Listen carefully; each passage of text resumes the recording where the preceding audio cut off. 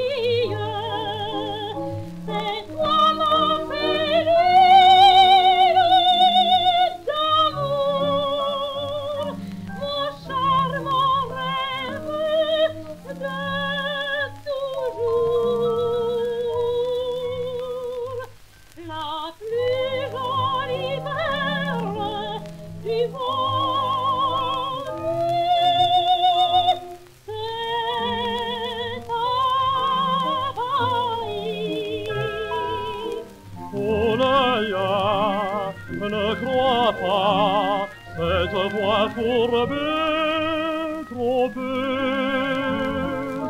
mais entends les accents de ma prière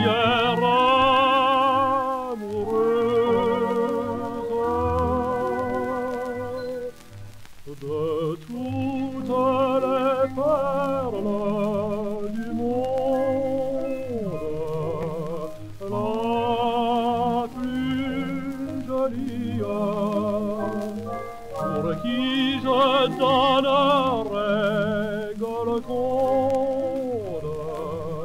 et Cephalia.